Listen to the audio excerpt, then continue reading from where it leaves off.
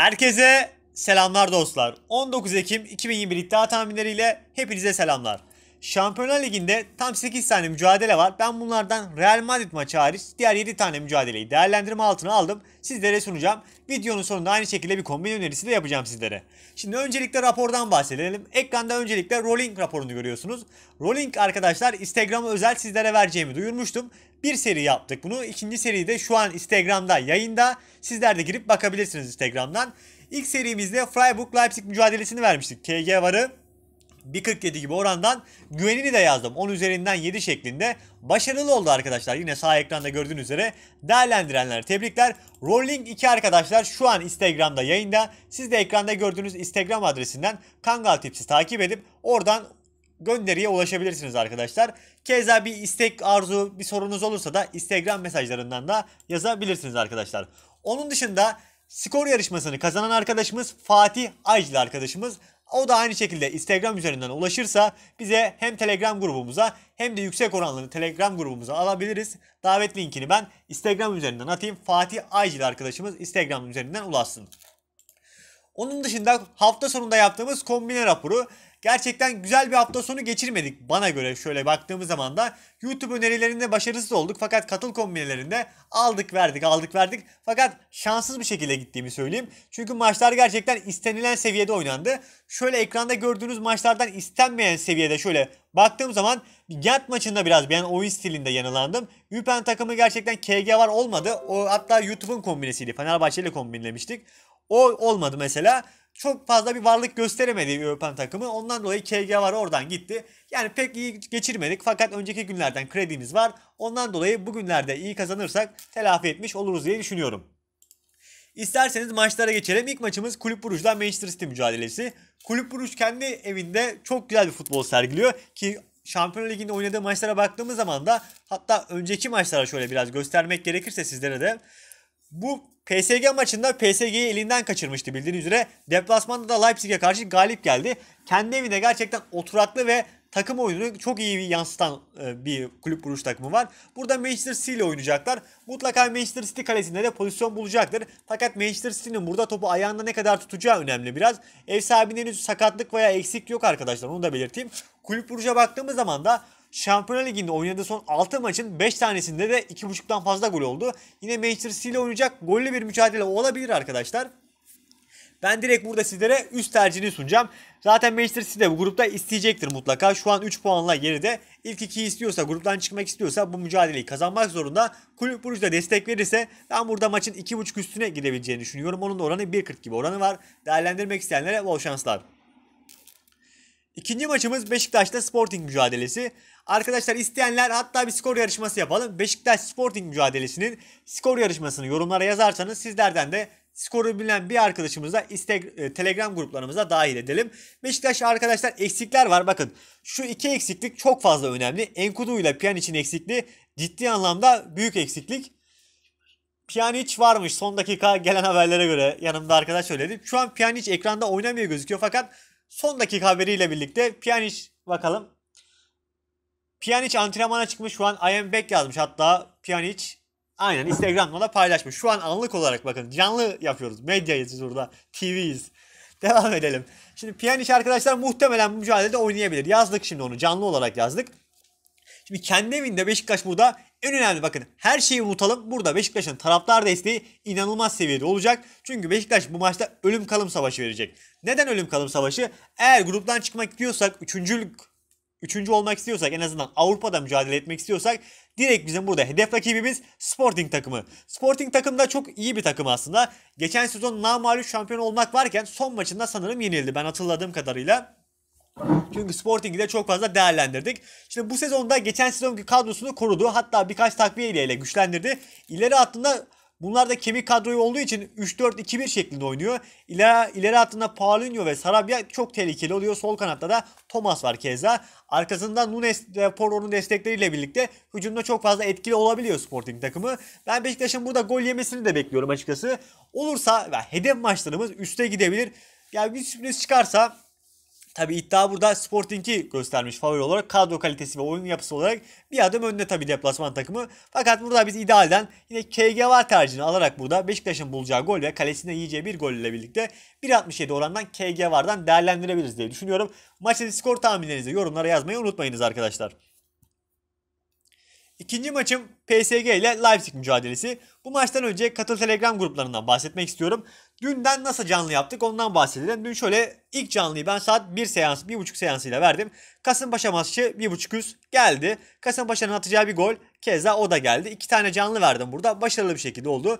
Bilal arkadaşımız Sampdoria'nın golünü verdi. O geldi. Göztepe maçındaki geldi. Nice maçını ben verdim. Yattı bu deplasman gol atamadı. Dikkat ve ufak olarak değerlendirilmesi gerektiğini belirttim. Sampdoria geldi. Anderlecht maçına Bilal arkadaşımız 1.5 üst verdi 1.75 gibi orandan. O geldi. Galatasaray'ın deplasman 0.5 üst o gelmedi mesela. West Ham maçı da KG var dedik. 2.20 gibi orandan önerdik dakika 34'te. West Ham sanırım 1-0 mı ne kazandı zaten. Bu da gelmedi. Burada bu şekilde canlı tercihler yaparaktan da kazanmaya kazandırmaya çalışıyoruz ki zaten izleyerek yaptığımızda belirteyim. Katıl Telegram gruplarından bahsetmek gerekirse seviyelerinden. Abone ol yanında katıl var. Katıl olmayanlar bilgisayar üzerinden baktığı zaman YouTube hesaplarına görebileceklerdir. Telegram grubu burada yurt dışında olduğumuz için Euro'ya dönmüş bu arkadaşlar. Bize de pahalı. 7 Euro olmuş. 30 liralık grup. Siz Türkiye'de olduğunuz için ben şu an Kıbrıs'tayım zaten Instagram'dan görenler mutlaka olmuştur. 30 liralık bu grubumuz. Ana Telegram grubu. 7 euro gerçekten fazla bindirmişler. Yurt dışı tarifesi olarak iki katına çıkarmışlar neredeyse.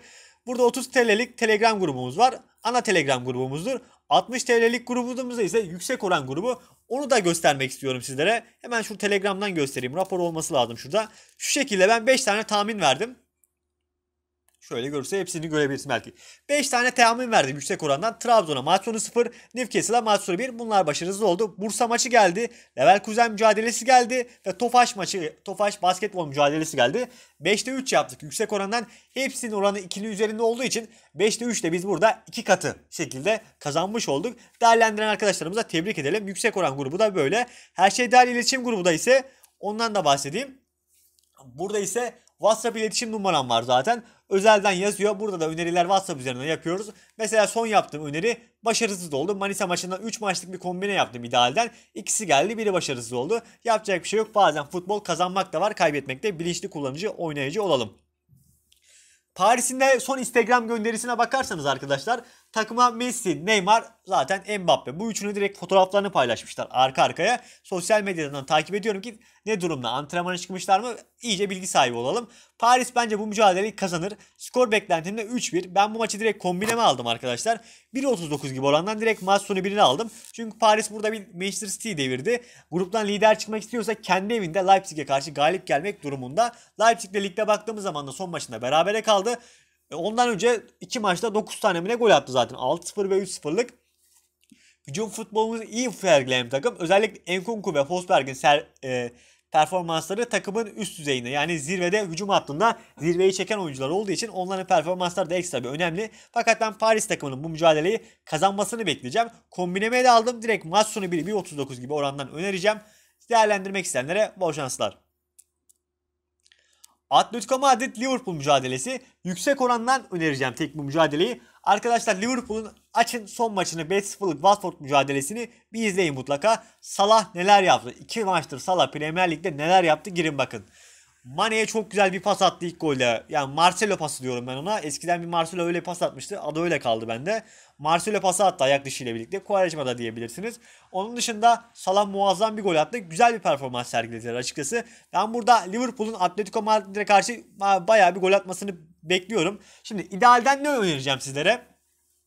İdealden arkadaşlar bu mücadelenin önerisi en çok korneri Liverpool kullanır. Bakın bunun oranı şu an açık değil fakat not alın mutlaka.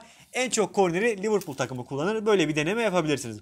Onun dışında onun oranı sanırım 1.50-1.60 civarı hatta daha da yüksek olabilir bakın. En çok korneri Liverpool kullanır. Fakat kornere yönelmek istemeyenler, korner biraz şans işi olduğu için gole yönelmek isteyenler burada Liverpool'un atacağı 2 golü 2-0-3 gibi orandan değerlendirebilirsiniz. Hatta 2-0-1 olmuş bakın. 2 oran gibi oranı var. Tek maç MBS1 veya yüksek oranlı kombinelerinizi koyabilirsiniz. Yarın yüksek oranlı kombineleri yüksek oran grubunda paylaşacağım maçlardan bir tanesi mesela. Deplasman 1.5 üstü oranı 2 oranı var. Değerlendirmek isteyenlere bol şanslar. Porto Milan mücadelesi. Bu maçta dananın kuyruğu kopar arkadaşlar. Neden olarak bahsedeyim? Porto kendi evinde Milan ben Milan'ı ya şöyle kalite anlamında oranlarda baktığımız zaman da son haftalarda biraz daha önde görüyorum Milan'ı burada. Favori olan takım Porto kendi evinde olmasından dolayı taraftar desteğinden olmasından dolayı. Şimdi Milan burada gol atarsa Porto mutlaka atar. Ya burada ilk golün gelmesi önemli. Maç 0-0 bitmezse mutlaka bir karşılıklı gollerin gelmesini bekliyorum. Ondan dolayı bir beraberlik maçı da olabilir diye düşünüyorum bu mücadeleyi. Yüksek orandan bir maç sonu 0 denemesi yapılabilir bu mücadeleye. Skor beklentimde 1-1, 2-2 skorlar olduğundan dolayı burada ben KG var önereceğim. Çünkü her iki kalede burada mutlaka pozisyonlar olacaktır.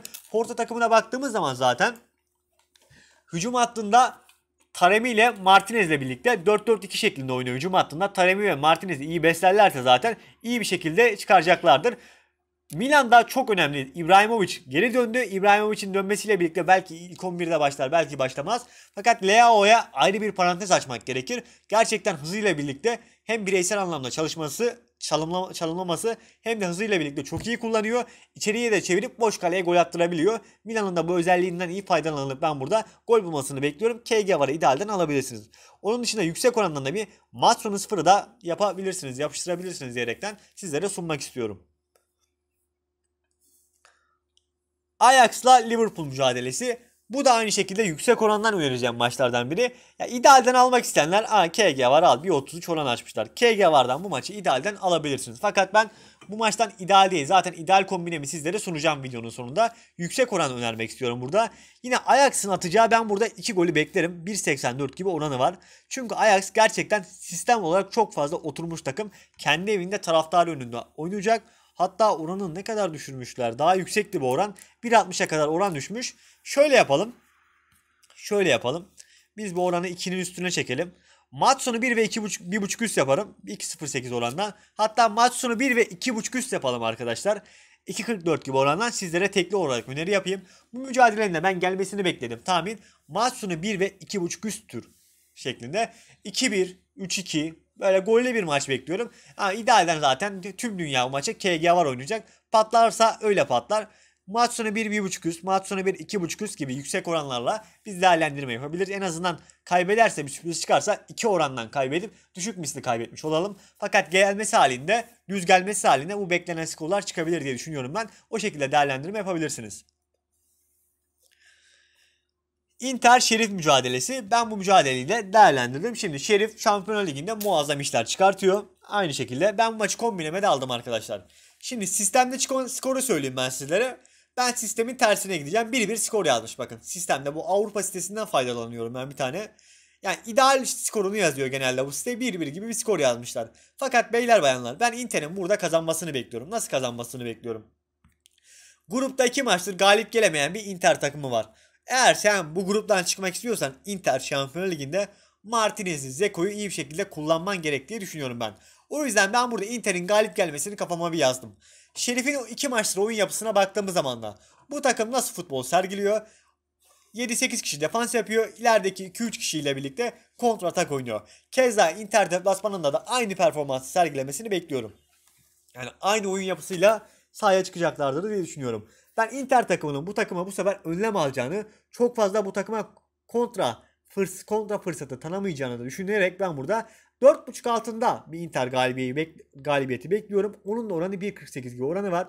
Dediğim gibi Inter'in zaten Lazio ile zorlu bir maç oynadı. Bu maçı da hafif çok fazla 2-0 3-0 yakalarsa fazla zorlamaz. Çünkü bu maçtan sonra da bir Juventus mücadelesi var. 4.5 altında biri sizlere sunacağım. Onun da oranı 1.48 gibi orandan değerlendirme yapabilirsiniz.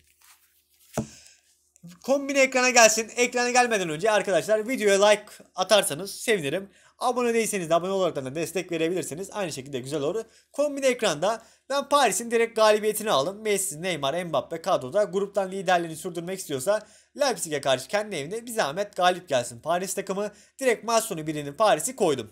Onun dışında Inter mücadelesine de ben Inter'in kazanmasını bekliyorum. Lazio maçından çıktı. Juventus maçıyla oynayacak. Şerif'e karşı grupta iki maçtır galip gelemeyen bir Inter var. Şerif'e karşı mutlaka galip gelmesini beklediğimden dolayı Şerif'in de çok kapanacağından dolayı Inter'in de bunu olarak bunu bilerekten de önlem almasını bekliyorum.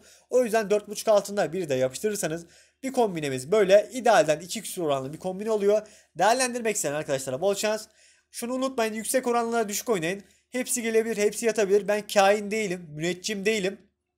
Maçları izliyorum, analiz yapıyorum, araştırma yapıyorum, bilgileri topluyorum. O yönde sizlere anlataraktan da kombinler oluşturuyorum.